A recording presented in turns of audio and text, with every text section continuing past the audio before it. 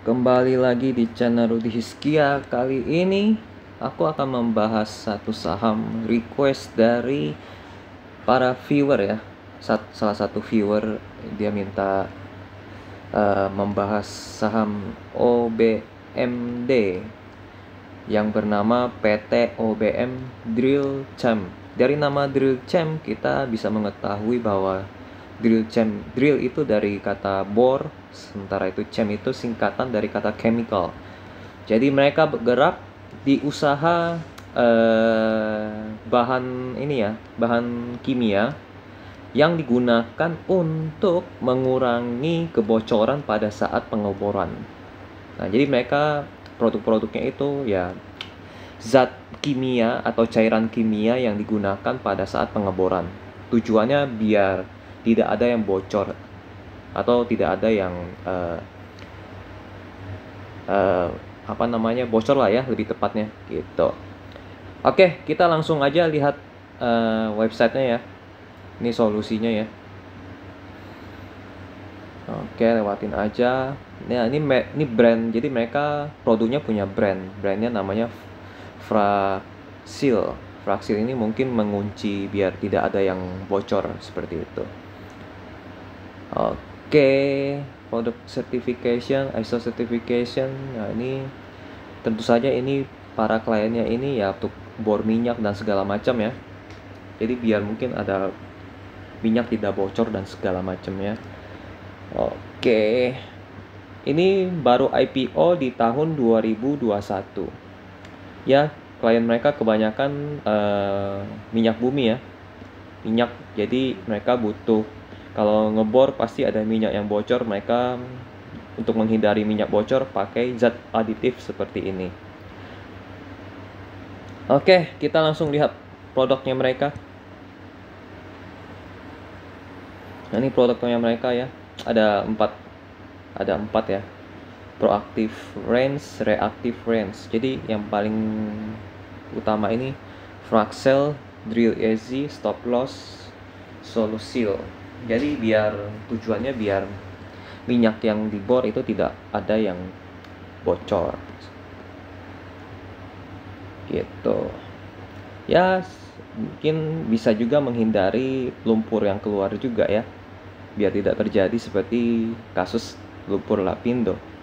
Oke case history uh, ini mungkin pekerjaan mereka ya project-project mereka. Uh, mungkin harus dilihat salah satunya diklik. Nah ini pekerjaan mereka ya.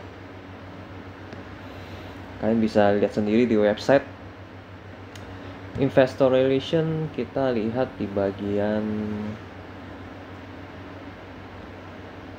uh, all distribution around around the world ya dibilangnya. Around the world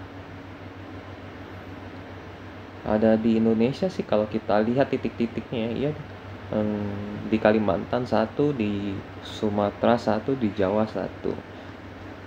Oke okay.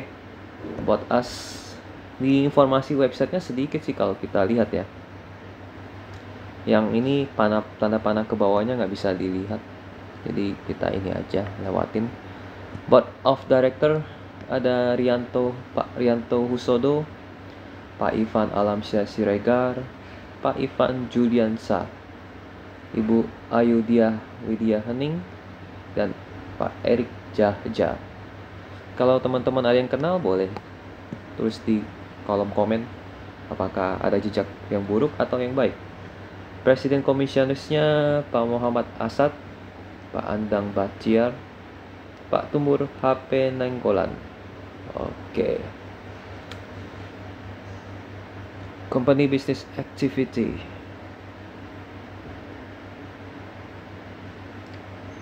Oke jadi mereka ngeklaim market share ya. Sini ada tulisan market share and geographical market segment in Indonesia. Jadi PT OBM Drill Chem itu market share-nya itu 90% gila ya. Oh berarti dia pemimpin pasar. Lokal 1% luar negeri hanya satu digit semua bahkan di bawah 4% jadi pemimpinnya ya dari ini si oh BM Bilchem oh ini berit ini informasi yang bagus ya mereka pemimpin pasar. Terus udah sih itu aja dari websitenya ya. Tidak ada informasi yang lebih detail kita akan langsung masuk ke laporan keuangan ya laporan keuangan. Ini baru IPO di 2021 akhir sekitar bulan November atau Desember. Jadi uh, tidak akan ada file public expose-nya. Dan mereka juga belum menyelenggarakan public expose. Tadi aku cari di IDX belum mereka belum belum ada file terkait public expose mungkin mereka akan mengadakan public expose ini di semester kedua kali ya oke ini uh, bagian asetnya ini dinyatakan dalam rupiah. Nah, ini perusahaannya nggak begitu besar nih, karena masih di bawah 100 asetnya itu baru 100 miliar kecil lah ya. Du, uang kasnya itu mereka 21 miliar, piutang usaha 36 miliar, persediaan 17 miliar. Jadi top 3 mereka ada di pertama piutang usaha, KS dan persediaan. Total aset lancar 77 miliar. Kita bandingkan dengan utang jangka pendek mereka. Nah, ini utang jangka pendek mereka. Ini bisa disebut total kewajiban lancar atau liabilitas jangka pendek sama aja ya. Totalnya hanya 6 miliar ya. Utang bank jangka pendeknya 2 miliar, utang pajaknya 2 miliar jadi kecil jadi utang banknya bisa dibayar lunas langsung pakai uang cash mereka jadi uh, rasio utang jangka pendeknya ini uh, cukup aman lah ya sangat aman bahkan utang jangka pendeknya mereka bisa bayar semuanya langsung cash karena uang cash mereka lumayan banyak sekitar 21 miliar Oke, utang jangka panjangnya yang paling besar itu kewajiban imbalan kerja. Jadi tidak ada bank ya, jadi aman sekali ini. Bahkan di total-total hanya 12M utangnya mereka ya, bisa dibayar lunas pakai uang cash mereka yang sebesar 21 miliar. Jadi utang mereka kecil jadi aman. Sementara itu ekuitas mereka ya. Jadi kita bandingkan total modal utang dengan total modal ekuitas atau investor. Ini kewajiban mereka total modal dari utang itu 12 miliar. Sementara itu modal dari investor itu sebesar 95 miliar. Jadi besar sekali. Jadi ini kalau rasio utang ini mereka positif banget ya. Aman. Utang banknya kecil hanya 2 miliar saja. Hanya 2,4 miliar saja. Jadi di di di apa sih dilempar pakai duit cash juga lunas semuanya. Jadi utang aman. Lalu penjualan. Nah penjualan mereka naik 100% ya atau naik dua kali lipat dari tahun lalu. Di tahun lalu hanya 14 miliar tapi tahun ini mencapai 25 miliar. Kalau ini bagus jadi masih uh, bisa berkembang lagi ya. Apalagi kalau mereka misalnya mau ekspor uh, produk mereka ke luar negeri ya ini bisa bertambah lebih banyak lagi. Kita lihat aduh gila ini gila sih. Ini margin laba kotornya sangat tinggi ya. Omset 25 miliar sementara beban pokok penjum kokok penjualannya hanya 2 miliar. Laba kotor yang menghasilkan 23 miliar di tahun lalu juga sama 14 miliar masuk yang keluar cuma 600 juta sisa laba kotor 13 miliar. Wah ini margin laba kotornya tinggi sekali nih. Ini gila nih, ini gila banget. Oke, uh, kita lihat ke bagian uh, administrasi dan umum ya. Beban penjualan dua ini yang paling besar mungkin hanya di bagian administrasi dan umum ya. Ini mereka tahun ini makannya 14 miliar, di tahun lalu 11 miliar. Jadi menyisakan dari laba kotor ini hanya laba usahanya 6 miliar dan uh, tahun lalu 1 miliar. Oke, laba bersih setelah pajak ini laba bersihnya tahun lalu 1,4 miliar, tahun ini 6,4 miliar. Jadi bagus banget ini. Yang paling bagus ini margin laba kotornya gila sih ini bisa 90% lebih ini margin laba kotor. Ini bisnis yang sangat sangat sangat sangat sangat sangat bagus sekali. Ini tinggal di boost aja di omsetnya. Omsetnya di boost sampai misalnya apa ya namanya ya di boost sampai ke uh, pasarnya itu ke luar negeri ini pasti lebih gila lagi. Gitu. Oke. Okay. uh, eh, kalau Indonesia pun ada project baru mungkin itu bisa naik lagi gitu itu udah pasti gila sih kalau misalnya produk ini menggeser. Tapi kan di Indonesia udah jadi nomor satu ya market share ya. Jadi mereka harus uh, kalau misalnya omsetnya mau menaik ya di Indonesia harus ada project baru atau mereka uh, makan pasar di luar negeri. Nah ini arus kasnya ya negatif ya saudara-saudara teman-teman harus kas operasional negatif? Karena uang masuknya itu 16 miliar. Tapi kita lihat labanya itu 25 miliar ya. Tapi yang masuk 16 miliar. Berarti jangan-jangan ada jatuh tempo mungkin ya. Misalnya eh, kan tadi laba bersihnya 25 miliar. Tapi uang kas 16 miliar. 9 miliarnya ke mana? 9 miliarnya mungkin dibayar di semester kedua begitu. Jadi ada jat sistem mungkin mereka akan menggunakan sistem jatuh tempo. Tapi kita akan berpegang pada di penjualan. Nah ini tetap kita pegangannya ini. Meskipun ini ke kecil atau negatif lah ya tetap uh, laba bersihnya menghasilkan cukup tinggi begitu. Coba kita lihat ya benar ya uh, di kuartal satu kemarin 14 miliar yang masuk uang cashnya 13 miliar. Berarti ya satu miliarnya itu berupa piutang. Ini juga mungkin 9 miliarnya itu berupa piutang. Oke jadi yang pengeluaran terbesar itu mereka ada di pembayaran kepada supplier 9 miliar. Pembayaran pada karyawan 8 miliar. Pembayaran pajak 4 miliar. Ini top 3 terbesar pengeluaran mereka ya. Kalau 9 miliar mereka diklaim di kuartal 1 mungkin ini akan plus 3 miliar. Ini arus kasnya plus 3 miliar gitu. Lalu kita lihat di bagian penerimaan pinjaman bank hanya 2 miliar ya kecil. Jadi uh, aku pikir sih ini perusahaan yang cukup aman ya. Karena uh, kita lihat dari komposisi ininya ya laba laba kotor yang mereka terima itu 23 miliar men. Itu tinggi sekali jadi uh, arus kas yang negatif ini mungkin karena mereka memakai sistem tempo ya. Pembayaran mungkin tempo 3 bulan atau 9 bulan atau satu tahun kita tidak tahu. Ini kita harus cari tahu nih di file detailnya seperti apa. Gitu. Oke. Uh, tapi kita lihat ini ya pembayaran supplier dan karyawan itu 17 miliar tapi ke sini oh ini produksinya kali ya produksinya. Administrasi dan umum ya berarti di ini nih. Administrasi dan umum 14 miliar ini yang termasuk tadi karyawan dan pemasok kali ya. Oke. Mungkin juga salah kali ya. Ini mungkin ke bagian karyawan administrasi dan umum. Tapi harusnya uh,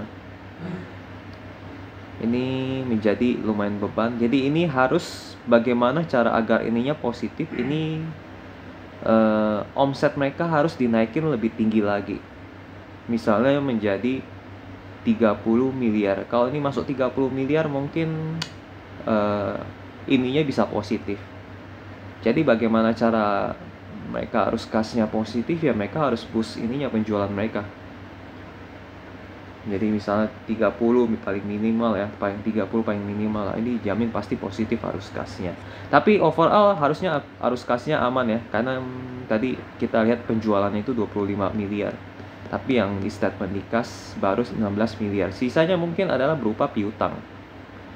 Nah kita lihat piutangnya ya. Piutang piutang usaha 36 miliar. Ini kalau 36 miliar ini dibayar lunas ya uang cash yang masuk juga plus 36 miliar seperti itu. Oke, ini laporan keuangan terakhir mereka aman. Kita akan langsung masuk ke bagian uh, ini rekapan tahunan ya nah ini dia mereka IPO di 2021 Jadi informasi informasi-informasi yang uh, tahun-tahun sebelumnya itu dari 2018 sampai 2020 ini aku ambil dari Prospectus dan di Prospectus tidak ada arus kas. Jadi aku uh, kenapa 2020 ada ada dua, ada arus kas karena aku ambil dari laporan keuangan 2021 mereka di mereka ada publish gitu. Jadi kita lihat arus kas mereka memang selalu negatif dan arus kas mereka negatif ini kemungkinan dikarenakan dari uh, ini yang jatuh tempo tadi ya. Misalnya di kuartal 4 uang maks misalnya yang terima di 51,9 miliar masuk. Tapi uh, belum diklaim di di kuartal keempat. Jadi masih minus.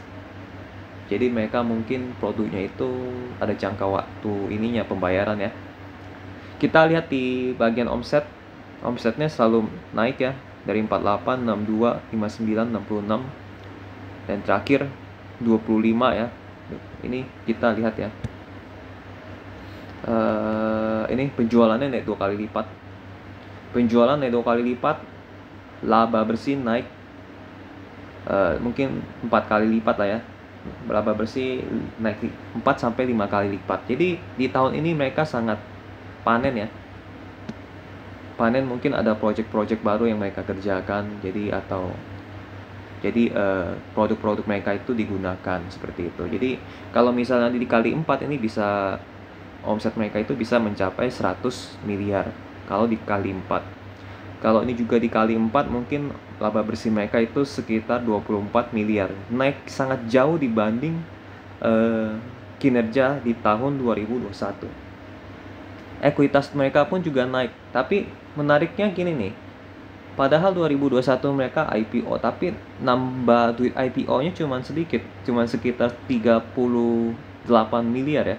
Mungkin mereka masuk IPO itu di papan akselerasi dan papan akselerasi memang kita uh, memang uh, uang yang masuk itu dikit. Papan akselerasi maksimal itu uang masuk ke perusahaan itu sekitar 50 miliar tapi kalau tercatat di sini yang masuk sekitar 38 miliar. Mungkin yang masuk 50 miliar tapi mereka ada bayar ke IPO advisory ke perusahaan sekuritas dan lain-lain akhirnya yang masuk cuma 38 miliar. Ya itu sih paling uh, dari mereka ya. Ini arus kas minus 6 miliar ini kecil lah ya. Bagiku sih kecil minus 6 miliar ini. Ini bisa dibayar eh ini bisa kalau ini di boost sedikit dari sisi omset ini minus 6 miliar ini bisa hilang atau menjadi positif. Gitu. Jadi mereka harus uh, buka market baru atau pasar baru di luar negeri ya. Semoga bisa. Jadi ini punya potensi pertumbuhan lebih besar lagi. Gitu. Oke dari rekapan tahunan ya positif. Meskipun ini kita lihatnya negatif uh, tetap uh, tadi kan kita seperti lihat laporan keuangan sebelumnya ya.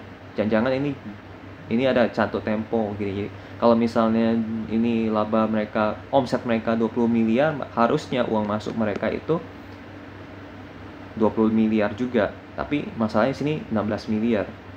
Berarti minus 9 miliar. Nah 9 miliar ini tinggal di plus 9 miliar aja. Jadi positif 3 miliar gitu apalagi mereka ada ini aku ulang lagi apalagi mereka ada piutang usaha nih tinggal di jadi klien-klien mereka atau pelanggan mereka tinggal bayar 30 mil, 36 miliar ini dimasuk cash bisa plus 36 miliar gitu.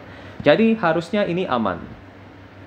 Meskipun ini baru IPO di 2021, sepertinya ke depannya ini akan bagus banget karena mereka jualannya produk zat ya, zat kimia untuk pengeboran. Dan ini tergantung dari proyek-proyek yang ada di luaran sana ya. Apakah pengeboran minyak e, semakin banyak atau semakin dikit. Nah, untuk jangka panjang sih ya, e, sepertinya e, masih abu-abu. Aku nggak bisa berkata lebih aku nggak bisa nebak ini arahnya ke mana apakah bisnis yang bagus atau tidak karena pengeboran minyak ini aku jarang dengar beritanya ya apakah apakah apa namanya eh, banyak dilakukan atau tidak ke depannya nanti. Apalagi bahan bakar akan dialihkan ke listrik ya. Bahan minyak itu kan sebenarnya paling banyak itu digunakan untuk bahan bakar kendaraan bener kan? Jadi ini agak uh, ini jangka panjangnya nggak tahu ini ini bisa bagus atau tidak. Tapi kalau untuk jangka pendek di bawah satu tahun kita bisa manfaatkan dengan berita-berita yang bagus misal laba bersihnya lompat 500% omsetnya lompat 100% dan lain-lain gitu. Oke okay. apakah tahun depan bisa naik lagi? Kurang tahu karena tergantung project yang project-project di luar sana ya apakah banyak yang ngebor atau tidak gitu. Kita lihat di bagian valuasi ya valuasi valuasi mereka secara perusahaan PE ratio di 8 kali sementara price to book mereka di 0,8 kali. Di, di industrinya padahal di PE rasionya itu 166 kali. Dan industri mereka PE uh, price to book mereka 4 kali. Jadi secara perbandingan perusahaan dengan industri perusahaan masih lebih murah dibanding industri. Tapi tidak hanya itu. Jadi uh, selain perbandingan perusahaan dengan industri, perusahaan pun kalau misalnya aku memiliki nilai sendiri ya. Selama perusahaan masih di bawah per 10 kali, aku anggap perusahaan itu masih murah. PI rasionya masih murah ya, selama masih di bawah 10 kali. Dan selama price to book mereka di bawah dua kali, aku anggap perusahaan itu masih murah. Dan ini mereka uh, masuk kriteria tersebut. Gitu. Jadi ini perusahaan masih murah ya secara rasio. Gitu. Nah ini berita-berita terakhir. Ini berita ya 19 hari yang lalu. Jadi tendongkrak prospek industri migas. Nah ini kita sering-sering lihat di kontan ya apakah ada berita tentang industri migasnya lagi maju atau tidak gitu kan. Kalau misalnya prospek industri migasnya naik eh, OBDM ini juga akan naik gitu. OBDM berita 19 hari yang lalu yakin mencapai target pertumbuhan penjualan 40%. Wow, gila ya. Nah, berita penjualan meroket 80%. Perkuat domestik OBDM OBMD optimis kinerja naik 40%. Ya, jadi target mereka di tahun ini 40% ya. Optimis gitu. Jadi uh, tinggal memanfaatkan berita-berita bagus seperti ini aja karena ada industri minyak yang lagi naik. Kalau selama industri minyaknya positif positif terus dan mereka selalu memproduksi dan mencari sumber minyak baru, OBMD menjadi uh, pilihan saham yang menarik untuk pada saat industri migas sedang naik begitu. Jadi kalian harus sering pantau industri migas nih kalau kalian invest di OBMD udah ya uh, karena mereka baru IPO dan tidak ada yang uh, dan mereka tidak belum melakukan public expose jadi informasinya hanya segitu aja ya. Dan secara keuangan mereka aku bilang positif lah ya.